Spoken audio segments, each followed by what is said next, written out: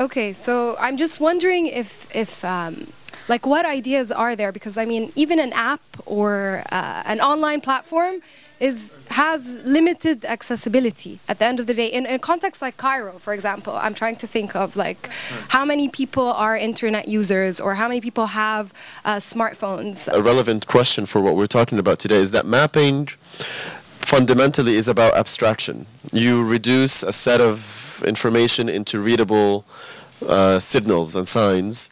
So you lose details, but the trick becomes how do you abstract information and still make it relevant so that you can actually base policy and uh, I mean this is a very tricky question. I don't think there's a clear answer to it. But it, so, I mean there is the fault and I think a lot of the official establishment definitely in Egypt fall into that trap. They create their own maps and they create their own charts and statistics and then they use them to support ideas that they had even before they created a plan. Uh, so the maps and the charts and the numbers become become just legitimizing information as opposed to information that that actually uh, inspired the beginnings of, of a research project or of a plan or so so it's it's a very contested I think relationship as well.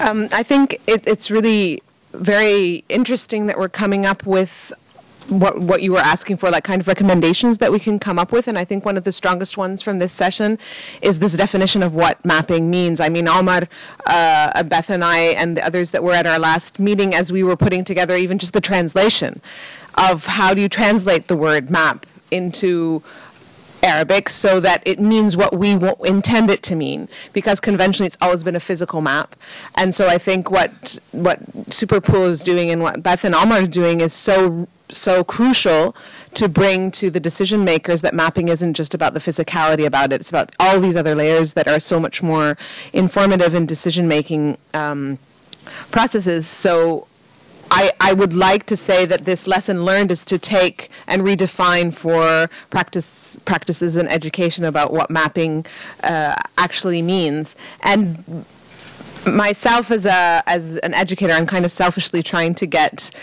lessons for our own practice and teaching because there's this huge disconnect about what we teach and what what should uh, be happening. We're actually now teaching our students, although it's a very formal kind of process, but we teach something like housing and GIS together, so they have that. And Egypt actually has a very rich GIS infrastructure, but it's a question of accessibility and it's a question of making it public knowledge and available to practitioners. But I, what I what I'm seeing from this conference as well is this shift of practice. I was talking to Zaza and, and uh, Ahmed Burhan about that the other day of this kind of, and I don't know, maybe you can answer why this is, but now we have practitioners going out, defining problems, addressing the problem, and you have no client, from what I understand. There is no client, uh, or the typical understanding of the client uh, of how commissions were made to practices like yours in the past. That's changed just this past decade. I don't know if it's a phenomena of our economic crisis. There's no longer the money to have these big commissions made, if it's a lack of interest, if it's a I don't know what it is, but that we have practitioners like you going out and saying, okay, here's a problem. This is how we think we can at least document it. And then you go to the decision makers and present that. And that's such an interesting flip to how architectural practice and design research has been done up to only maybe a decade ago. So I would love to know how that came about. I mean, I know the four of you, it seems like kind of just a sense of responsibility to the environment that we are in and to take your, your, your know how and volunteer it almost to the bigger community. But as a dynamic, I think it's really very fascinating, and, and your thoughts on that would be great. Well, I think that's an important question, but before I answer that, I think I just want to go back to one of the points that Mohammed raised. I think one of the main distinctions between the work that Superpool is doing and we're do, trying to do is um, the question of a question of availability of um, our accessibility to information that Mohammed raised. Uh, so most of the quantitative analysis that we're doing requires access to a certain body of knowledge uh, statistical or otherwise, and then to visualize it into maps. Um, the other the other difference is the, the relevance of what we're, we're living in. We're, we're, we're, Beth and I are very interested to capture this very uh, ephemeral, ephemeral moment, this, this kind of fleeting moment that we think is to not going to last for long, and eventually many of these practices are going to disappear once a new order is, is re-established, so many of the street vendors are going to be pushed back, many of the highway uh, development, roadside development are going to be pushed back. So we really want to capture this moment, and that's why we're working mostly on a street level, on the ground, and we're less concerned at this particular moment, not that it's important, on the sort of looking at the global picture. So we're very interested to capture the things on the ground. Um, but um, but the question of, of, of legitimizing and and uh, is very important because to us, yeah, the street vendor example is very important. Yes, we don't have a client yet. Uh, my, my question is for Omar and Beth. I was wondering the extent to which you think about your project as a pedagogical effort to raise awareness, and uh, if that if you do think of it that way, then who are the projected audiences, and to what extent do you have to develop the audiences and build the audiences, and, and how would you do that? The question of the temporary, or to some extent, whether the government, well, I don't think the government sees informal areas as being permanent uh, or a lot of these things like microbuses, they see them as an aberration uh, from some kind of an idealized future which is undefined.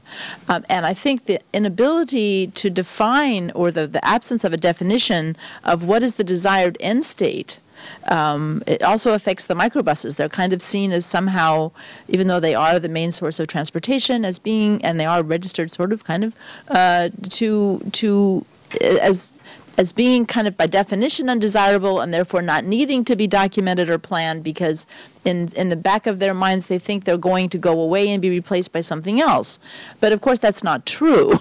um, but I think that whole inability to think progressively what is the desired end state, um, and and not not that it would ever be an end state, but I mean what is the desired what would you like to have in 20 or 30 years? You know there would still be obviously continuing evolution, but but um, the inability to define that, or even assuming that ain't 2050, let's just all hope um, that that what is it? I mean, what what is the standard that there should be that should be tried to be installed with regard to public space and informal areas? Should the government stop thinking, for example, that agricultural land is going to somehow stay agricultural, even though that's obviously not going to happen uh, with the areas that are within a certain range of Cairo, um, and try to plan for public space and public facilities? Um, should there there's there doesn't seem to be anything really done to plan microbus stops? I mean, what should the government be do? Is it possible for them to shift to thinking about this as being something that is not somehow temporary and violation of the quote unquote norm, um, and and actually deal with it, or is that just unrealistic? As muhafizin and so on, but you actually do nothing about it. Uh, so it creates this catch-22 situation where there's always a cause and a mission for the ministry and a budget here and a budget there and a project there and a project here, but on the ground nothing actually happens. And there has actually emerged a cottage industry. I mean, the amount of uh, consultants that work for the government, many of whom are from Egyptian universities, who because the Egyptian university education system pays so little and they want to be, you know, important people, they have to find other ways to make money, so they become consultants and they do projects. I mean, now there's this, the same people that were doing Cairo 2050 are now doing something called 712 and they do conferences all over the country. Uh, Rimel, I don't know, it's a very suspicious name to begin with. I mean, Rimel, ephemeral, it flies away. It's, I don't know, why would you call that anything? But, um, but anyway, it's a cottage industry proposals are being made hundreds of thousands of pounds are being spent on organizing conferences from Minya to Asyut to whatever, and it's all building on hopes for the future. It's the idea of a vision, but it really doesn't come down to anything at all. Uh, so I think some people are benefiting from this state of flux, what Omar calls state of, a state of flux, just making it perpetual. It just goes on and on and on. Meanwhile, the city is functioning. People are building things. Microbuses are delivering, uh, you know, bring transporting people. Uh, an economy that's completely out of outside of the tax code is happening.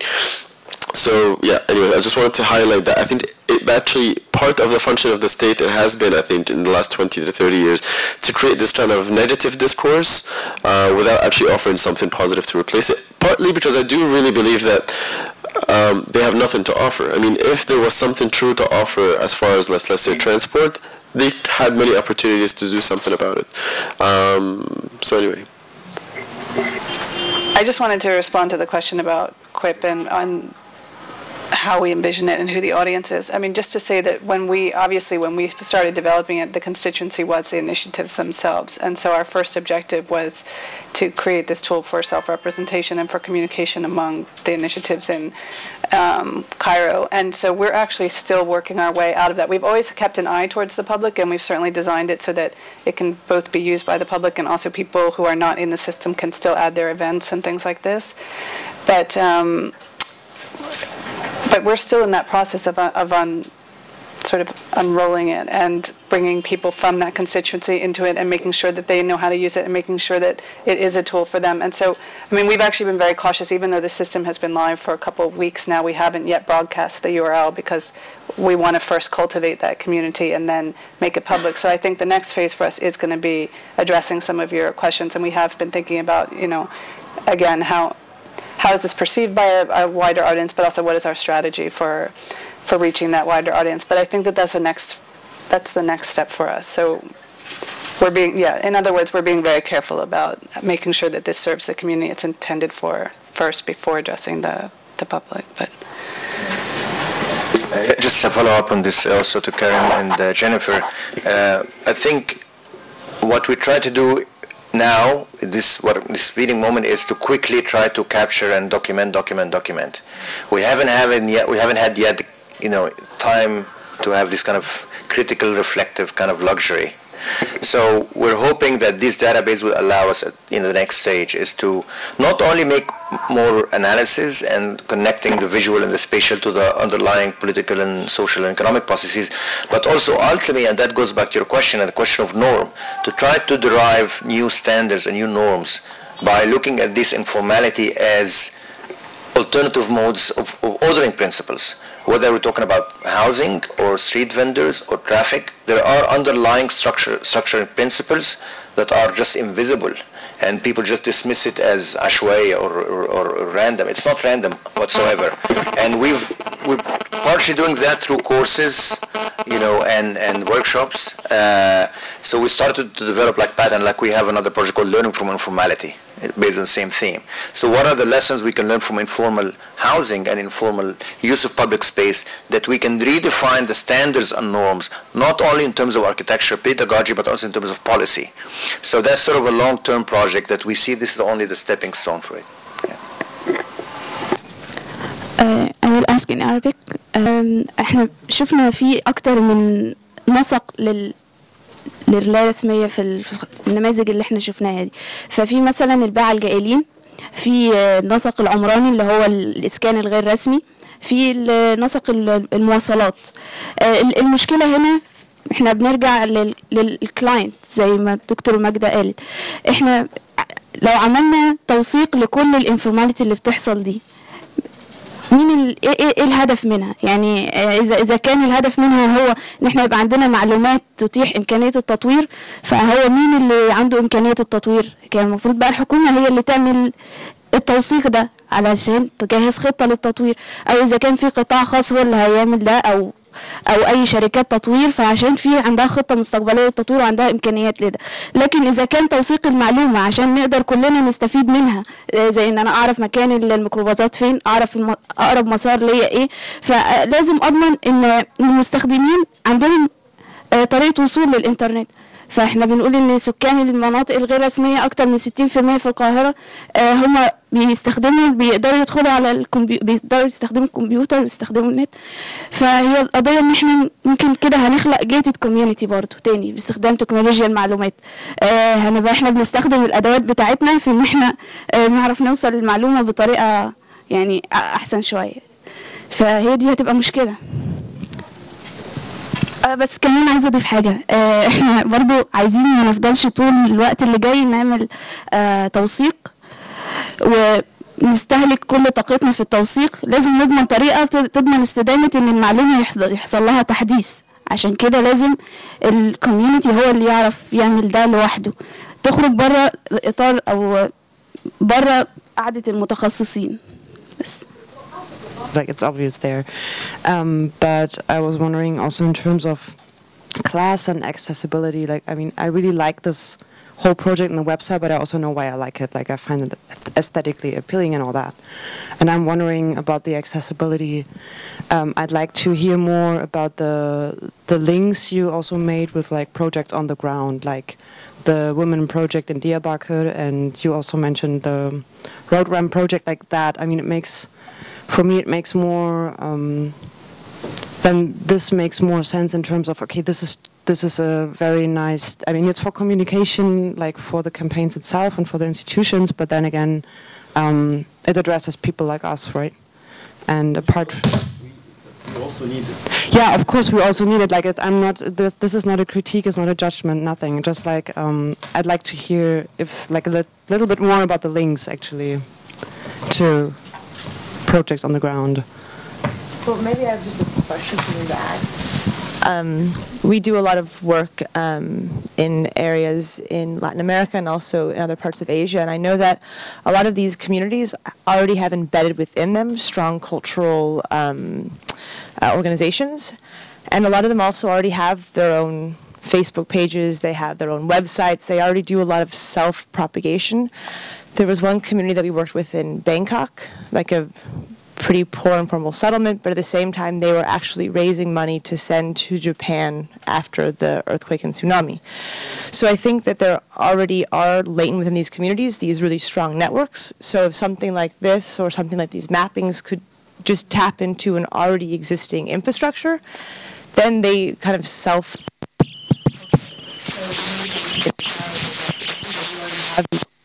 These existing networks.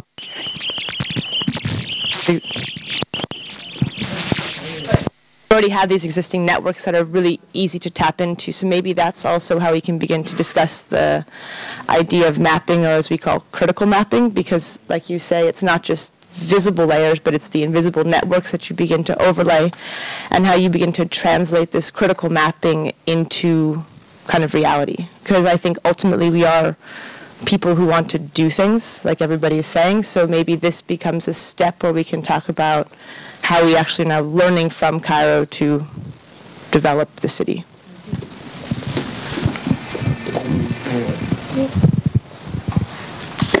I think for that, as Omar also mentioned, there's two different stages. I mean, there's the one documentation stage, which was, like for us, mapping Istanbul was just a documentation. There was no real conclusions from it. We, we just needed to have that data to start working in Istanbul. That was that was basically it. And the Dolmuş minibus map started off as, okay, we, we there's no maps, we need to navigate ourselves, and, uh, you know, we need to start learning the city, so let's just put it together for ourselves to learn it. But the public outreach side, it's really a, a, it's a lot more effort than you would ever imagine it is. I mean, we over the summer we tried to run a campaign on Taksim, Taksim Square, and it was just basically an online uh, platform where you could type in your ideas what it should be. We had a very beautiful little movie that said, you know, what, what is, and it was as a cartoon, so it was really accessible. And it just asked, you know, what what do you think should be the future of Taksim? And to get any serious response to that was almost impossible. Like we, it just didn't really happen. Uh, so to, to, and we were advised by the um, basically that we have to have how many? It was 10,000 followers on Facebook to have any discussion possible. Mm. So for an architecture office of our size to really try to campaign to have 10,000 followers is is a lot of work. And at that moment, you start sort of thinking, where where should I put my priority? If I have these skills of putting something out that maybe didn't exist before, should I just keep on doing that? And hopefully, then uh, along the way, there's some alliances that form that then take on the propagation propagation side. Uh, yeah, so I mean that that's kind of has been our, our decision. You know, okay, we, we will we will do what we do best, and hopefully along the way we, we figure out how to. But it's also you have to have some conclusions. I mean, uh, we, we didn't get to the moment of having conclusions in a way. Uh, I mean, we we are surveying, and uh, yes, we could make a very practical sort of uh, helpful de device for uh, mapping uh, um, for for the dolmuş or the or the, or the buses or whatnot but again, eh, that's that's just making a practical tool. It's not really making a real vision of anything or kind of uh, offering any real solution. It's uh, still still creating practical tools. Yeah, just going back to Hana's question. Yani, you were part of this project, so you should answer yourself. But one of the projects that we tried to do uh, last year was this open street map system. أنا ممكن أقول إحنا ممكن نعمل إزاي طب هقول حاجة وأنت كمان I'll give the mic back to you. Um, Yeah, and one of the things we try to do is to create this uh, uh, open street map system. The people, as I said, um, map their own services and amenities that they found for themselves um, necessary and relevant to their communities, not only infrastructure, but you know, microbus stops and pharmacy and so on. And we came with the idea, and actually Hannah is part of this project, you maybe talk about it, is to, to develop a system like almost a, um, the Ramadan calendar, so something like that that has a map of the neighborhood one side, and in the back you have a list of pharmacies or a list of doctors or a list of, you know, hospitals or so on and so forth. And then each one of these enterprises will pay a certain fee to have their names being advertised, and return it gets reproduced, and it's actually creates jobs.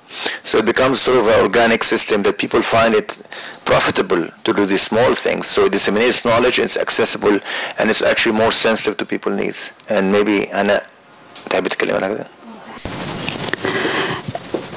آه، الأول المنطقة اللي حصلت فيها الورشة هي منطقة أرض اللواء دي المكان اللي أنا ساكنة فيه ال- الورشة دي كانت علشان تمكننا من طريقة نقدر نوصل بيها لتجميع معلومات آه، من غير ما أكون متخصص فاتعمل اتعملت مجموعة من من أكتر من جمعية من المنطقة ومن الأحزاب السياسية ومن الأفراد الفعالين كل ده عشان نكون آه، مجموعة تضمن استدامة ال- الرفع ده اللي إحنا بناخده بن- بنتعلمه.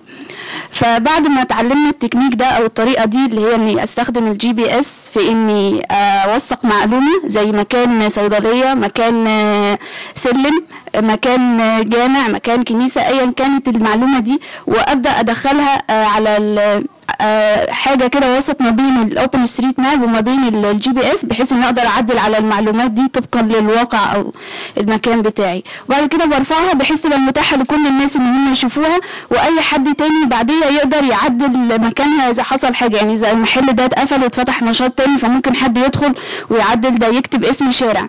آه، بعد ما اخدنا ال- ال- الورشة دي فكرنا إن إحنا إزاي ممكن نستغل ده. فحبينا نكمل آه، الرفع. قلنا عايزين نقسم الرفع بتاعنا إن إحنا نرفع خدمات صحية خدمات تعليمية آه، ايا كانت كل الخدمات اللي موجودة في المنطقة ال- الفرص اللي موجودة محلات فاضية آه، الشقق اللي موجودة كل ده يترفع أسماء الشوارع. بس هو في في قضية تانية. إن إحنا عشان نرفع ده ونحطه على النت إحنا عارفين ان مش كل سكان ارض يق- يقدروا يدخلوا على النت. فان ممكن نعمل حاجة وسط يبقى فيه مطبوعات يبقى فيها الخريطة ان أنا هقدم له آه، حاجة زي كده. دي اسمها ال- الخريطة الصحية لأرض اللواء آه، فيها كل الصيدليات والعيادات ومراكز التحاليل والمراكز الطبية. آه، بحيث ان اي حد في البيت يبقى معاه معاه زي فهرس للمنطقة أقدر وأنا في البيت عندي حالة طوارئ عايزة أعرف مين أقرب دكتور جنبي. فعلى طول هعرف رقم أعرف الصيدلية اللي مفتوحة دلوقتي. فدي هتبقى خدمة آه، بسيطة باستخدام التكنولوجيا دي. في نفس الوقت أقدر أوفر لهم لينك عشان يعرفوا أكتر يدخلوا أكتر على باقي الخرائط. آه، ممكن نضيف عليها مجموعة خدمات زي إن نتكلم عن مشاكل المنطقة. بس عشان أنا أعمل المنتج ده آه، مين مين ممكن يشتريه؟ أنا عايزة أوفره ب- مجانا أصلا يعني. فبتبدأ تدخل قضية تانية إن أنا عايزة أعمل إيه إيه. ففكرنا إن إحنا محتاجين نزود جزء التسويق أو جزء دعاية. آه قلنا طيب ما هو كمان ممكن نضيف حاجة تانية يعني. ممكن نستغل فكرة في كنت قريت في, في أبحاث في مشاركة استخدام المسؤولية الاجتماعية للشركات. آه، في حاجة مستفزة بتحصل الأيام دي شوف إكس فاكتور وعرب ايدول وكل الشركات الكبيرة بترعى حاجة مش أولوية بالنسبة لنا إحنا كعالم عربي. طب إزاي نقدر ندخل مفهوم زي ده للمناطق دي كلها؟ نقول لهم إن لا في في القاهرة 60% بن- بنقول لهم يعني في عندك زبون يعني في الشركات اللي هي زي آه، ممكن برسيل ممكن اريال كل دول الكلاينت بتاعهم أصلا في المناطق دي. إزاي بربط فكرة التنمية مع التسويق ويبقى قريب من الناس؟ فالنموذج نموذج بيتطور لكن الاساسيات بتاعته ان أنا ببني قاعدة في في المكان بعلمهم تكنيك آه، بضمن استدامة مالية وبضمن استدامة في التنمية وبرمي النموذج ده وبنقل لمنطقه تانية. والهدف هو مش إني أعمل ربح بس الهدف إني أضمن الوصول للمعلومة وإني أوفر قاعدة بيانات وإني أحقق كل المفاهيم السياسية اللي- الرئيسية زي الديمقراطية وزي تمكين المجتمع. فهو ده إحنا بنحاول نبنيه بس الموضوع مش مش مش سهل يعني. في نقطة مهمة قوي إنه وانت بتحكي على فكرة الفهرس حسيت إن إحنا بنتكلم على فكرة الفون بوك آه، وده كان موجود في مصر. الفون بوك ده كان كتاب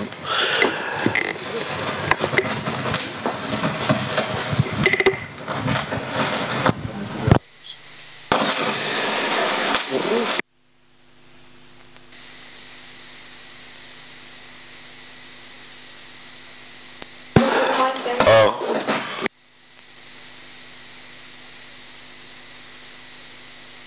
الاسلاك طيب بس آه عشان ما نضيعش وقت. أنا بس آه الفون بوك آه حاجة موجودة لسه في في أنحاء العالم وكانت موجودة في مصر وفيها فعلا جزء رئيسي. لا اي هاف فروم يعني من البحث بتاعي آه في فون بوكس ديتيلد بطريقة أنا ما شفتهاش بره. معلش يعني ده واقع. آه بكل حاجات عادة ما بتبقاش ليستد في في في الانترناشونال ستاندرد اوف فون بوكس وده بيعكس نوع من برضه سنس اوف كوميونتي الاربن بيس سنس اوف كوميونتي اللي كان موجود لفترة ما. لحد الستينات في هتلاقي كتاب بيطلع كل سنة آه في نمر التليفونات طبعا وبعدين في الآخر في إعلانات بتاع الشركات اللي صارفه على الكتاب والكتاب كان ببلاش. فده كان موجود لحد الستينات. اختفاء ده جزء منه يرجع لفكره المابينج وفكره المعلومات. يعني قصدي عشان الكتاب ده يتعمل لازم يبقى في ناس واعية وبتشتغل طبعا المؤسسة على فكرة وزارة الاتصالات اللي بتعمله مش مش انيشيتيف انديفيدوال الدولة هي اللي كانت بتعمله. فهو ده جزء برضو الاختفاء الدولة ومسؤوليتها من الحاجات دي. الجزء اللي انت بتقوليه بتاع الإعلانات والدخول الشركات الكبيرة ده مهم جدا لأنه ده برضو شق ناقص. والجزء الكبير منه إنه ال- المناطق الكبيرة السوق لو نتكلم عليها كسوق اتس انفيزبل يعني هو مش الشركات مش شايفاه هم مش شايفين إن هو ده السوق بتاعه. هو عارف إن هو بيعمل منتج وهيعمل كمية معينة وبتتوزع في موزعين. إنما الداتا الاربن بيس داتا بتاعت السوق الكونسيومرز فين وهي ده هيأثر لو كانت المعلومات دي متاحة ومابت هيأثر على أصلا الشركات مش بس الدولة بت إزاي بتعمل البوليسيز بتاعتها بس الشركات إزاي بت بتارجت اتس كلاينتس وبتلينك بقى الافكار اللي أنت بتقوليها الديفلوبمنت. لأن ده بنشوف بنشوفه في أماكن تانية and sometimes it's successful يعني ف... فهو كله مرتبط برضه بفكرة المابينج و... بس جزيرة فسهلة الواحد يحط لها أولها لآخرها إنما في مناطق تانية إحنا مش عارفين في المنطقة بتخلص والتانية بتبدأ. فالسنس اوف كوميونتي أصلا اللي بيست اون هنعمل بوليسيز وهنعمل تداول معلومات وتداول المعلومات ده هيوصل لحاجات تانية آه، ضايع شوية. فأنا بفكر إن جزء من المابينج اللي يمكن نمشي من المؤتمر ده ونشجعه هو مابينج للنيبرهودز بطريقة على الأرض واقعية. مش المابينج بتاع النيبرهودز حسب ما الدولة في خريطة الانتخابات حطاها which makes actually في في disconnect ما بين ال- الخريطة دي والواقع. فأيوة فدي حاجات نتكلم فيها برضه. مثلا في ارض اللواء لما نيجي هقول بس في في النقطة دي حاجة. لما بشوف ال- الخريطة اللي عاملاها هيئة التخطيط العمراني لأرض اللواء بنلاقيها مختلفة عن اللي الناس عارفة أرض اللواء بيه. يعني هم حاطين ليها حدود وفي بقى يعني في في تحيز مثلا لو في حوض مش موجود في الهيئة بي- بيقول لأ إحنا إحنا أرض اللواء يعني. الحوض ده لا إحنا الحدود بتاعت أرض اللواء من كذا لكذا. فهو فعلا في حدود لكل منطقة حدود شعبية غير الحدود ال- الرسمية أو الدولية.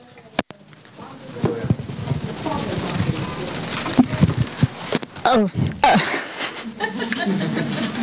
I have another. Um, good morning, everybody. So I have another issue that I would love to just uh, to put on the table, because um, we really appreciate the effort of, of Omar and Beth and of Miley Brashi and uh, of course Mohammed, and um, I'm just thinking about the repro- reproducibility of these things because you are not sleeping since um, since the revolution, maybe to do this mapping and to do this work.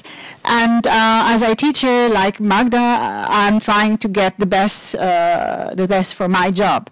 And I see that, um, of course, we have. I don't want to be too. So, well, we have the formality which bring money, and we have the informality maybe which bring money but in another sense and so the universities are preparing the, the next generation to get money so to work for the formality. So there is big, this big gap about what is happening in the city and what we are teaching at the university. I see for the application that we are receiving for our summer schools the 98% they are still presenting application with some compounds in the desert. So the project that they are doing it's kind of something coming from somewhere else so not connected to the to the city at all. So a topic that I would love to put on the table here to discuss with you is what we can do, we as teacher and uh, halfway professional, to get a little bit this informality into our formal worlds of university, or better way around, how to get the students to get to know and to work uh, for or against or uh, to map or whatever. I think we, we should think about a way to, to, to link together these two, two institutions. Have people involved with education, and we seem to be finding a lot of disconnects. I mean, if there's anything we can come up with from this debate is where those disconnects are and what we can do to reconnect them. So education and practice, um, informal, if you want to call yourselves informal practice, and conventional kind of client commission competition practice, and to reconnect that top and bottom. Lindsay was talking a little bit about their work as being like the hinge between the top down and the bottom up, and how does that work when right now we don't have a top or who is the top or the top that we have now may change tomorrow morning and and the bottom isn't prepared to discuss anything with the top and we have these dynamics that are so interesting. So as educators we need to respond in what kind of architects do we want our students to be. And i agree with you completely. We've been catering for the the SOMs of the world up till this point to produce um, construction document machines that can prepare a full package and deliver it to a client on time and that's that's what we are, we're doing unfortunately as much as we may not agree with it. So i think we need if we can come up and i'm trying to take notes but if we can come up with a redefinition of what an architect can be. And I think Selva and Gregers' uh, uh, example of the laundromat is an ingenious one because it's the architect as like an undercover agent. You're trying to deliver a service that is not looked positively upon and get to women that are battered and killing themselves by designing a laundromat. And I think that's ingenious. So this, this well, does, or part of it, uh, just this idea of the architect as someone that can deliver service in an unconventional way. I think we really need as educators to redefine what architects can be. Yep. yeah, I think just uh, following the same point, I agree that, I mean, the first stage would be like the demystification of informality because it's still like a very big black box. I think one of we tried to do with this conference and many other people are trying to do is to try to open up this area to make it accessible to larger audience, practitioners and academics and politicians. But I think I also want to be very, you know, realistic about this question of change in the pedagogy because it takes much more than, you know, a couple of faculty who are, you know, breaking new grounds. I think this is institutional vested interest in this kind of status quo and it has to do with many things with formal practice. That's it's it's going to take much more. It's like saying you know revolution happened so it's going to have like you know the bureaucracy is going to be different. No the bureaucracy has been there for many many years. The status quo is very very strong. And it's going to take a lot of structural change to allow for this alternative mode of learning. And you know we tried with some of the people in the audience to introduce courses on informality and it was you know it was met with huge resistance. And, you know, we all know why that is, because there is already kind of established orthodoxy in any institution, academic or otherwise, that is not easy to change. Uh, so I myself tried to work in smaller universities at the outskirts of the margin, at the geographical margin, to allow for this kind of guerrilla style, this undercover, without anybody noticing it. And maybe eventually it's going to pick up and get, you know, get the attention. But if you try to hit the center, it's, it's not easy. So I think we need to also be realistic about power relations. It's not just about great ideas; it's about like the structure. Just, I thought of, another useful map that we haven't discussed that's not about the city that actually relates to what Marda was saying. If maybe, and this data you should be able to have uh, whether GUC or AUC or Cairo University, if someone from there is, to actually map where the market is for the students that graduate. Because something tells me that will say a lot about uh, who is, who is it the university investing so much for, and quite often the market for them to work is not here. I mean, they go to work somewhere else, often in the Gulf. I mean, when I went to visit Dubai, we always hear about the uh, uh, the labor uh, from the subcontinent, and of course the designers with the big names who come from the U.S. or Europe.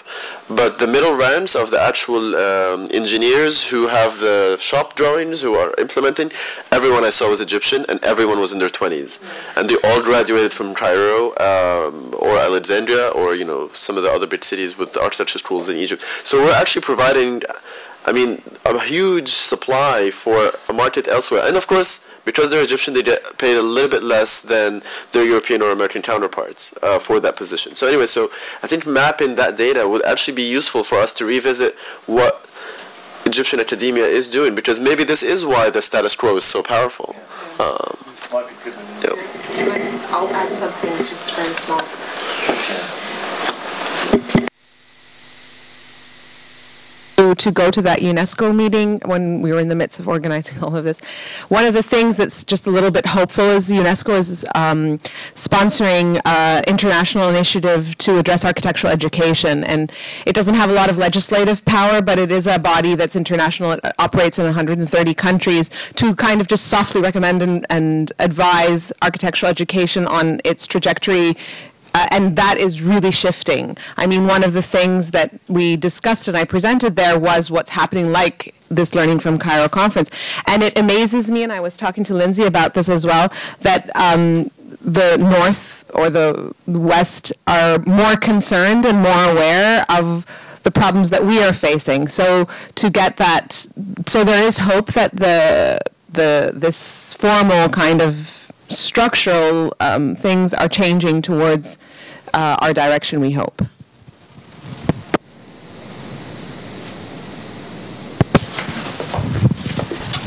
Yeah, thanks. Uh, I, I, think that the, the, there actually is more presence um, of the use of the internet, of course, among the younger generation, um, and it varies from area to area within the informal areas. Obviously, um, I did a study, um, you know, uh, sort of after the revolution, um, looking at the popular committees, and and which were universal. Everybody had a popular committee. I mean, any uh, any any guys here, I'm sure they were part of their local popular committee, um, and um, one of the things that was very evident was that that the Facebook presence of youth groups and other things was very strong in the Giza side in Imbaba. I mean, I started first. I started searching for you know Lagan Shabeya and seeing what kind of Facebook sites had that, um, and then searching for um, the Shabab, the youth group, Shabab Imbaba, Shabab Faisal, Shabab Marg, etc. Shabab something or other, youth youth of so and so place, um, and tons of stuff in Imbaba, tons of stuff in general on that side, nothing. Um, nothing in Hagana, some things in Dar es Salaam, sort of, kind of, um, but not much. And I'm really wondering, in with regard to the social structure, of whether it's a function of these villages, because Imbaba is seeded with villages. Um, and you can find, uh, you know, these youth groups in self-identified youth groups, and of course they could call themselves something besides Shabab, uh, you know, Koma, whatever. Um, but uh, who knows? I can't guess. Um, eh, but there, there actually is a lot of use, and, and so there, there, those things are out there. Um, and uh, you also have things like Wikimapia, which I love. I love Wikimapia, um, which is uh, a wiki on top of a Google platform, Google Earth platform. And, and if you look through the country, you'll see people all over the place have identified their village and their farm and so forth, and put all kinds of information in it. So there, there are, there, there is the potential to, to have these things be used. And alternatively, another way that you could do it, I mean, you cannot walk through an informal area down the commercial streets without running into like 10 Vodafone outlets. Or 10 Etisalat, or, you know, they're, the ones who are the most present of anyone in terms of the, the only role. I wouldn't say the only, that's probably too strong, but, but one of the very few sort of corporate, um, you know, oil slick uh, crowd um, that's present in the informal areas. Now, those obviously are, are they're, they're, they're kiosks, they're not, they're not uh, owned by the companies, but they could be nonetheless outlets uh, to display information, even if you can't afford to, you know, in printed form, um, even if you can't, and maybe it would attract them some customers and stuff. You could print something and have it be available for consultation without having it be in every home. Um, and and things like that might might be might be possible. There could be ways that some of those companies could be involved. Um, but there, but so I mean, I think there are ways to get the information out there. Uh, the last thing I wanted to say is that there are some very interesting experiences from from India and elsewhere of having the communities. I think you guys did some of that. Having the communities map themselves um, as a way of organizing the community and generating information. Um, and I think I know you guys are experimenting with that, but there does seem to be a lot of potential there. Um, ideally, if there's some payoff for them uh, in, in terms of some project that's going to happen or some response to their to gaps that are identified. I would like to add to that in maybe some other sources of information. I don't know if it's relevant or not, but just want to sort of propose them. Uh, again, the newspapers could be interesting for both the word count of neighborhoods that get mentioned. Also, I don't know if there's any rental postings. It could be interesting to, to track down the sort of prices that are uh, being suggested. Mm. We, we, we have this project still in pipe sort of to do for Istanbul to look, kind of make a land value map because it's, this doesn't exist. And it's a very crucial map to see uh, even if it's only one district to look at. Maybe we won't be able to do the whole of Istanbul, but just to uh, almost uh, gather that from the online postings. job postings could be interesting. I don't know if there's any platforms that uh, architecture students or other, in, in, in general uh, job seekers look for. I would imagine for the black market that probably doesn't make much sense. Um, but uh, the schools must have data. Uh, primary schools must have data of their students. I don't know if they would be willing to share, but it's definitely they're usually the easier one to approach than any other. And yeah, uh, and it looks desperately to me like you would need to find a density map somehow, and I, I don't know uh, some some sort of FIR and density map, but can't really figure out how you would find the data for that without having governmental support. And there was one uh, interesting initiative. There was one interesting initiative by a newspaper after the revolution. Al Watan is a, is a newspaper that came out only after the revolution, and they had a, a, um, an online on their website map uh, with places to, to find parking in the city, which I thought was amazing. I've never seen anything like this for Cairo before. I don't know if, if you've seen it, but you can actually late click on the the where the parking space is, and then it tells you the hours, and it tells you if you have to pay or not, and how much you have to pay. And the, uh, the, I'm sorry. No, they didn't have that, but uh, but as, as a potential, it's there. I think this was a very, I mean, very basic. You need to have a map of where you can park, and that will determine where you will go. Okay, but this question with this it's actually very important to the, the question we're asking. Yani, some of this formal mapping almost become irrelevant, like the Lili telephone, the phone index, or you know the information, because the formal part of the city is almost getting a formalized. So that's why all these projects we're trying to introduce, trying to find alternative way like, for accounting for these practices that are completely excluded from the formal census, the formal mapping from this. But I think the parking is a great uh, project to, yeah. And also, why? One question from my side. Why? Why didn't you do the uh, time lapse from a higher place? Or did you? Or did you do it? Higher meaning like airplane or? Just pick one of the kind of uh, tall tall towers and put a camera up.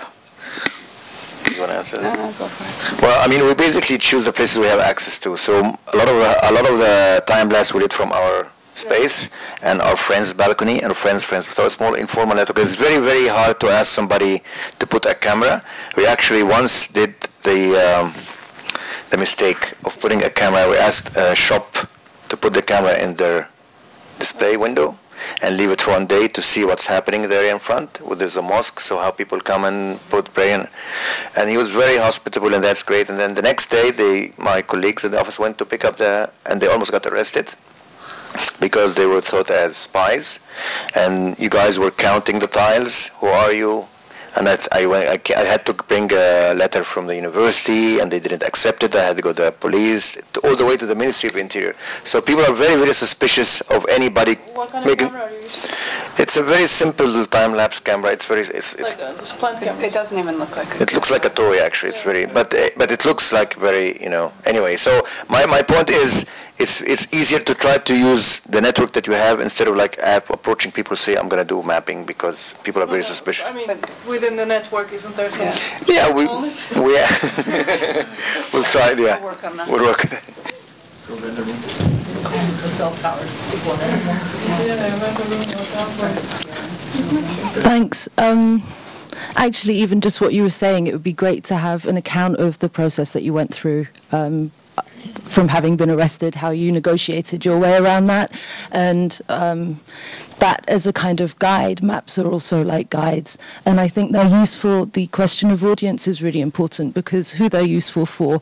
In some areas, you don't need a map because you know it, and so the people who live there don't really need that, that knowledge unless you come in as an intruder, who you are, whether you're suspect, whether you're an Israeli spy or not. Any of those things come into question. Um, so.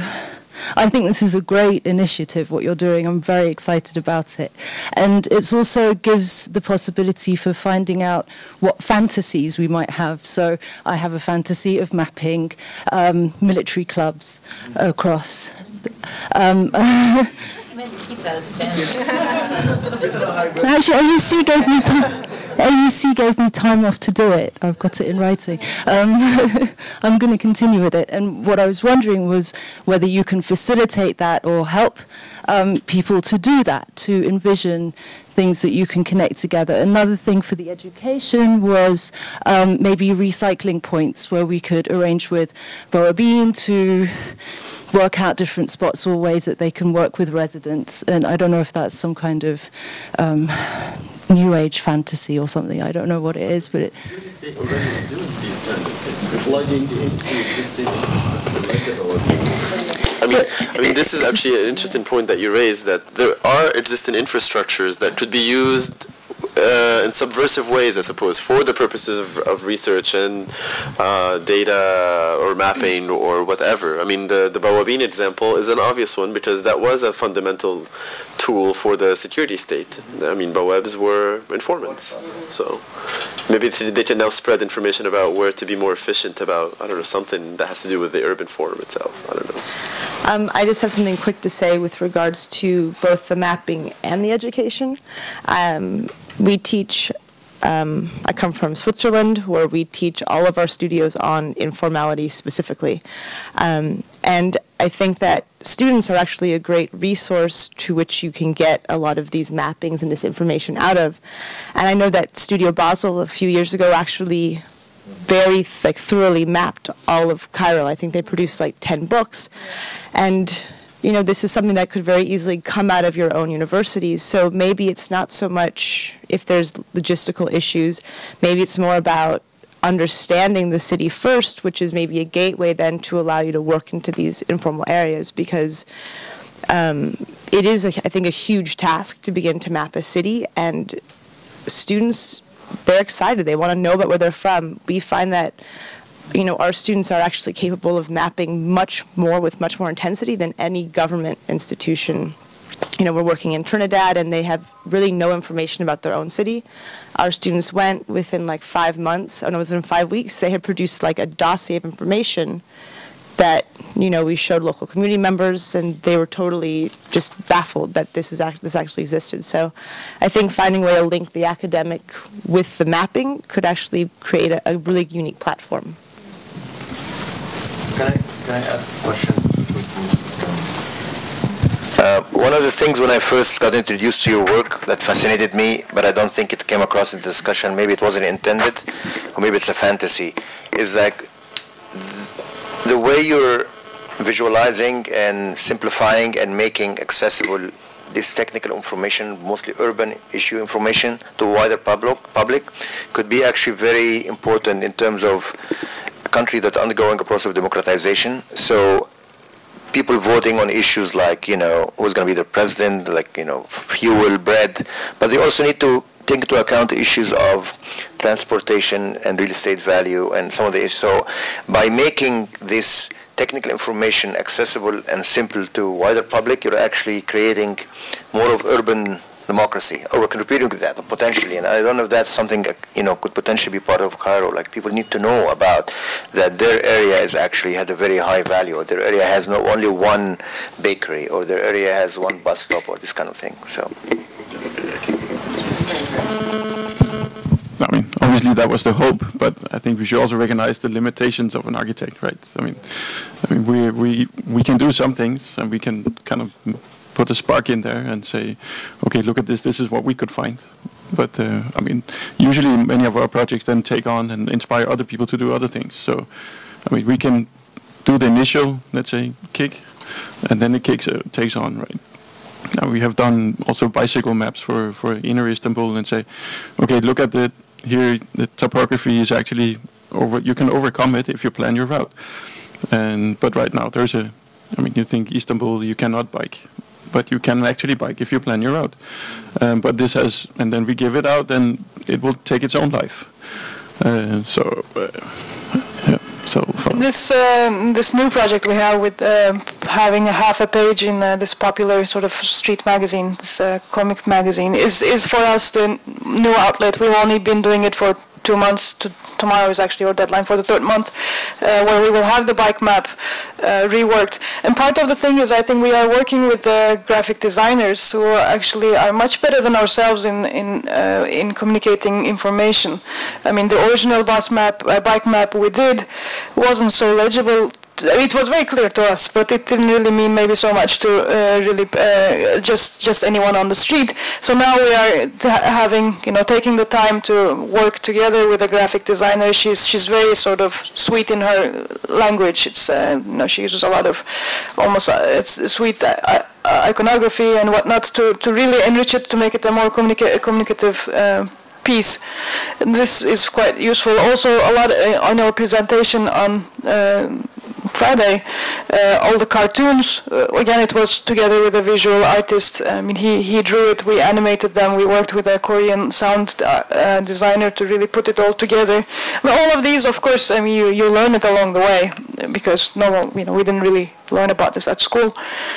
But communication part of it is as as important, and sometimes somehow we're not really trained in that, and it's just to acknowledge that we are not, and to work with the correct professionals is important.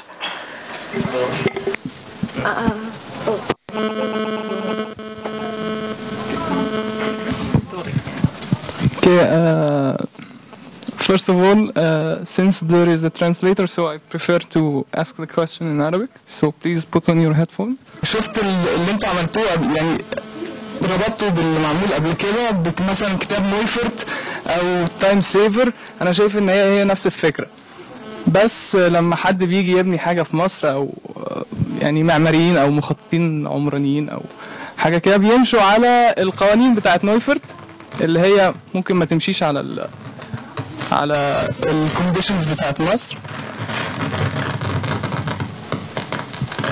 وبيمشوا على الكود البناء المصري اللي هو فيه ممكن يعتبر مثلا آه، هربط حاجات بقى بالتورز بتاعت امبارح. ممكن مثلا يعتبر التاور الكبير اللي كان في ميدان مصطفى محمود اللي كله كيرتن وول متقفل بإزاز في الواجهة الغربية والواجهة الجنوبية ده فورمال بس يعتبر كشك على ناصية شارع كشك شغال كويس جدا يعتبره انفورمال ف يعني ليه بقى ما, ما, ما تخلوش ما يعني ما ال- المابينج بتاعكم ده ما يروحش على الكود البناء أو يروح للحاجة الحكومية يبقى هو ده اللي المفروض الناس تبني بيه.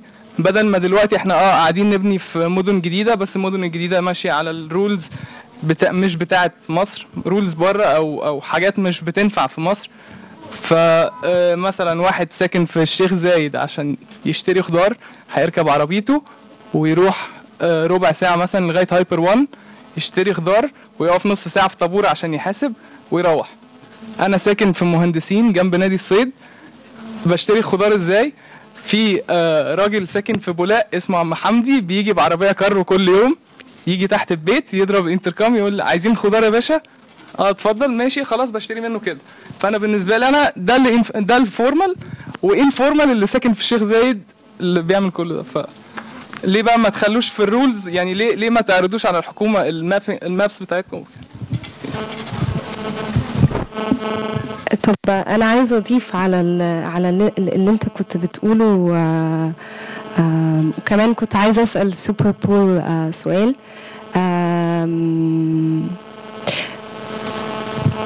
في أول سؤال للسوبر بول يمكن سؤال تافه أو بسيط or uh, but I just want to know like how uh, you managed to to do the the maps مثلا for the bikes. Um, did, were you commissioned by the government?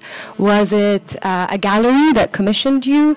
Uh, were you funded by uh, USAID were you you know like uh, because this really um, is an important thing um, in this context where um, it's, it's difficult to produce this material and it's the reality. Um, and that brings me actually to a second point, um, which we've all been talking about kind of and, and beating around, which is who's the audience for the Uh, do they have agency in, in producing their own information? Um, what is the point of the map? Blah, blah, you know, uh, et cetera, et cetera. Um, and so, uh, for, for example, for me, um, the usefulness of a microbus map in Cairo is uh, less so for the users, actually, um, uh, ironically speaking, um, but more so for, for the government. And uh, therefore, if I were to, to, to make such a map, uh, my idea would be to, to present it, to pitch it to the government as look at these um, amazing entrepreneurs um, that have created uh, value um, and and you know infrastructure that you know uh, and it's normal. I mean, in Japan, if you look at the metro system in Japan, uh, it was all developed privately. Uh, it's all private companies that created these uh, metro lines. If you look at the train system in the U.S., um, that was also uh, due to transportation of meat, actually, um, and it was also private, and then it became uh, governmental. So a lot of the times, it's entrepreneurs that are trying to, uh, you know, fill a gap that come up with solutions. And so the idea would be to show, okay, look at the income generated by a microbus. I'm going to map how much money this microbus makes per day, and that's not being taxed. Um, and I mean, this goes to DeSoto and, and all that, those kind of arguments. But if I make a map showing, okay, these are the routes, they're really great, uh, they're there.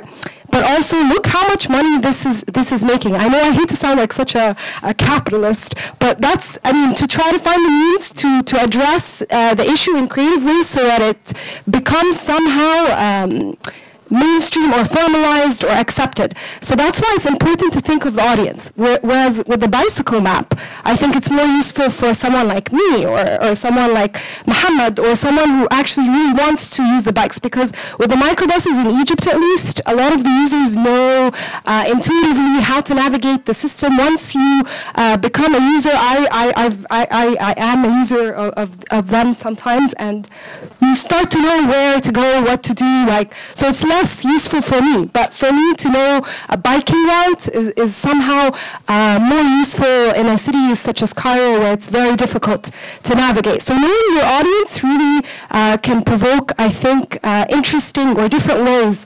I know revenue streams sound so like. Uh, you know, mm, I, it shouldn't be like that, but but it could be a, a positive way to to address these issues. Yeah, anyhow, so let's say uh, how long a map takes to make. I mean, we, we the bike map in particular, we, we did it completely out of just just for fun. We had uh, we were in between jobs. We something we didn't need to start really in until a month. So we had one person who didn't have anything to do, and we said, okay, why don't we just do a map instead of doing a competition? Because architects actually work for free a lot. We we do a lot of competitions in general. So we said, okay, let's stop uh, we had a choice. We said we won't do the competition. Let's do something that, uh, in any case, we won't make any money from the competition. We'll we'll do the map. Uh, and it was one one month of uh, one junior arch- architect and a and a student. Um, we weren't going to fire her anyway, so it's like just just to, you know, there's always gaps in the workflow, so we, we always sort of capitalize on the uh, gaps that we have to do other things that we would like to do. Uh, so it's very bad business plan, but it's just kind of uh, in in any way it's in how architects typically work. Uh, instead of doing competitions, we do these things. Uh, the the bike map, uh, in essence, was more actually uh, theoretical than the minibus map uh, because the the bike lanes don't exist. It's actually just to point out that these are areas you could put bike lanes. So, so it was actually more directed towards the authorities than the minibus map. And and, and it's it's obvious. You first kind of have a point you want to make. You make the map, and then you slowly start seeing where, where other platforms it makes sense to put it. But you know, limit the work of a map to one month or two weeks or something, so it's actually doable. Otherwise, it becomes projects that are not doable. But uh, actually, there the story is that uh, right now they will not go into making bike lanes because they're thinking that the public opinion is such that they should solve bigger problems before doing bike lanes. But it's in the works, or they are thinking, of course, that far. But so in some ways, a little bit premature. but at the same time, it, it got its own life in the media. Like we send it to newspapers, and, and so we do our own like dissemination, but without going, let's say, to start selling it or distributing it. You can download it from our website, but It actually took quite a long while. Yeah. It actually has had a quite a kind of popular reaction to it from very different kinds of people. Uh, every every two weeks we get a phone call and say, "Can I have the map?" And then there's uh, different bike organizations who want to collaborate with us because just recently Gregers was interviewed by the Danish TV uh, on the bike map issue. Who- They were Turkish Danish. Yeah. Uh, then the funny thing was that they were expecting Gregers to be riding a bike. I'm very disappointed. You arrive in your limousine. You come Mercedes. Uh, just a, uh, just a quick response to Manar, and then I want to address the gentleman. Uh, I, I agree with you that you need to find a way to engage the government to, you know, entice them to work with this, and maybe, you know, taxation would be a good, although a bit, it would be a way of like destroying already existing and viable economic by system by introducing sort of, um, you know, superimposed taxes. But but I think also I'm very interested in open up, even if microbus current microbus users uh, are already aware and familiar with the routes, they don't need a map. But I'm interested actually encouraging non-users. So I, I'm, I'm very, I think there's a fine line between, you know, accepting local knowledge and try to protect it without making it accessible and they're putting at risk, and also sort of dividing the city into almost small local ghettos. And you know people are just using bikes. They're happy let them people are doing microbuses. And i'm interested in having cross cross I know you're not saying that, suggesting that, but I'm. so one of the things we're trying to do, like uh, going back to the question of pedagogy, is like to, to bring students in private university to informal areas. And first lesson is to, to, to break psychological barrier. It's not really physical, but psychological barrier. And once they get there, they know, oh, actually, the people are, you know, they're they're living there. They have to go shop and this and that. And I think that's that's part of the things that we try to, to break. But but back to your question, uh, we this I think goes to the first question of this session was, what are the uses or potential use of this mapping? And I think the question of standards and codes would potentially be a project that we hope would contribute to revising some of these question uh, uh, standards, and also not just the question of standards code, but question of frame of reference. And I think Khalid Fahmy, the first session, talked about, you know, 19th century Cairo and looking to Paris as a frame of reference. We're living in a sort of similar, you know, kind of, you know, what our codes and our standards are all built with, you know, it's, it's reference is actually outside, so we need to kind of revise that. But, uh, just because we have five minutes left, so I want to wrap up. Uh, comment, comment, email, Morho. Okay, I was, I was gonna, oh, are you first? Okay, uh, two things. One is maybe instead of making the whole microbus uh, map, it, but basically what you're mentioning could be to, f- for example, we did a, a map of all the parks and which buses that go to particular uh, parks. I mean, maybe this is something could be interesting to do. I don't know what are the popular, is it the shopping malls or the cultural centers or the universities, but to show which routes uh, you can take could be a pilot project, might, might be easier. Um the other thought escapes me, so that wasn't meant to be.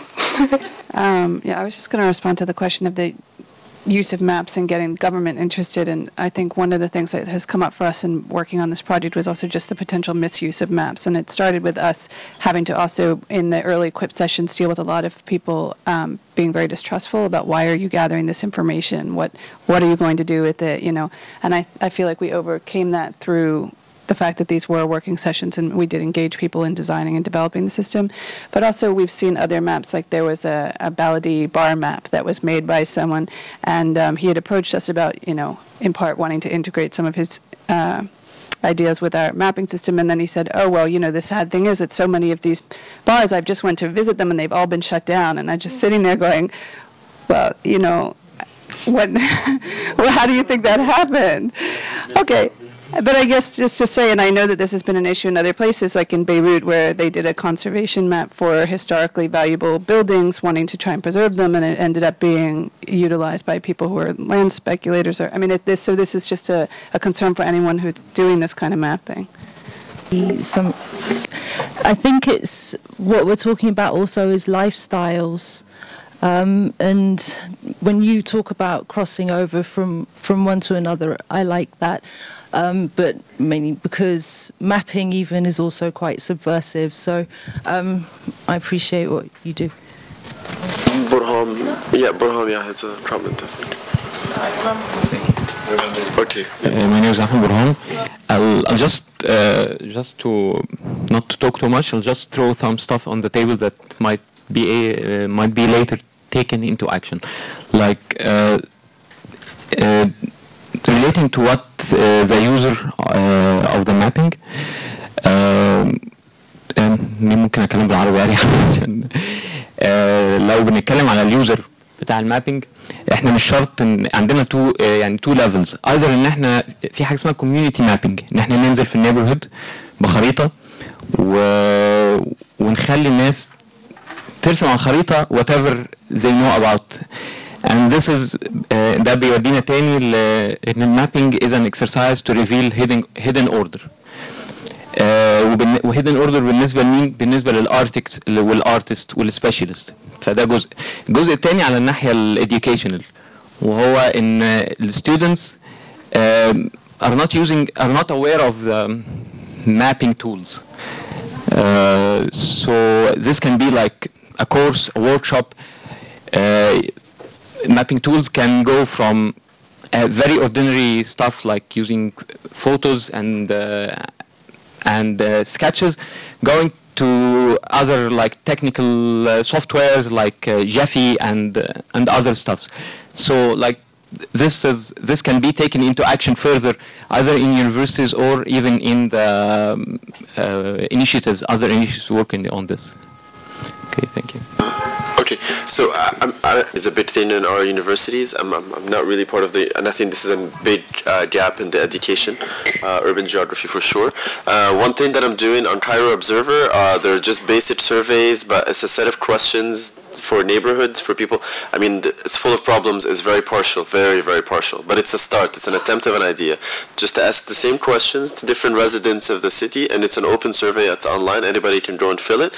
But it gives us a sense. It allows people to just respond to say, how do they feel about their neighborhood? What do they like most? What are their main complaints? And I'm finding already, even though all I have so far is something like 30 responses, you find patterns. There's some things that clearly the person in Mu'attam who responded, and the person in Du'i who responded, and the person in 6th of October, and the person in Obur all actually share they mostly have to do with municipal management, transport, and so on. So this is another form of mapping, not visual, but it's kind of a, a collecting just. This is what town halls are supposed to do, but we don't have town halls. So what are we going to wait for democracy to arrive in 100 years in some sort of uh, unrealistic way? No, I think we can find some other way to, to do this. But I think just to conclude, it sounds also to me that if we're trying to sort of map informality to make it accessible, whether visually through information or through user integration, uh, I, to me, the first step to doing this is to stop using the word informal. It's just not describing what we're talking about. And so we have an opportunity, I think, from the Cairo case, which I don't want to argue is unique, uh, to actually just come up with something new. Because informal still is grounded in this duality that's just not cutting it at this point with all this, this discussion. Uh, so this is one point. And just to give a quick example for closing, why mapping is so important uh, in the most basic sense. There's a town in the south of Egypt called Isna, which was once upon a time a very vibrant uh, economic town. Uh, all the boats going from south to north had to stop in Isna, so it had that kind of economy because all the boats has to stop there. Taking part of this uh, workshop, and I look forward to seeing you in other workshops and in the closing session. In the closing session, yes. And lunch is on the third floor.